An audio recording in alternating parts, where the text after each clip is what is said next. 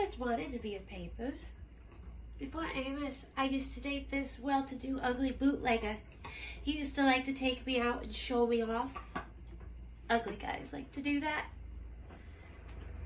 Once, it read in the paper, Garyland's Al Capelli seen at Chez Vito with cute red-headed Corey.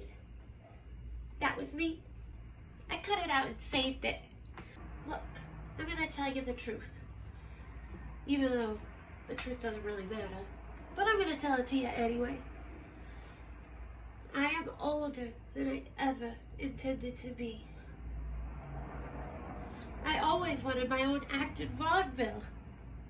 But no. No, no, no. There was always no. One big world full of no. And then Amos came along. Sweet, safe Amos, who never said no.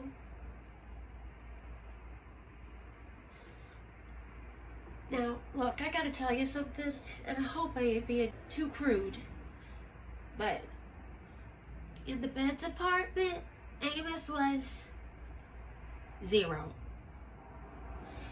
I mean, when we went to bed, when we was making love, it was like he was fixing a carburetor or something.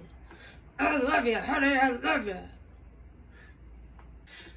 So long story short, I started fooling around, and then I started screwing around, which is fooling around without dinner. I gave up on the vaudeville idea. I figured after so many years, opportunity just passed me by. But it ain't. No, no, no, no, but it ain't. If this Flynn guy gets me off, and with all this publicity, I can get back into vaudeville.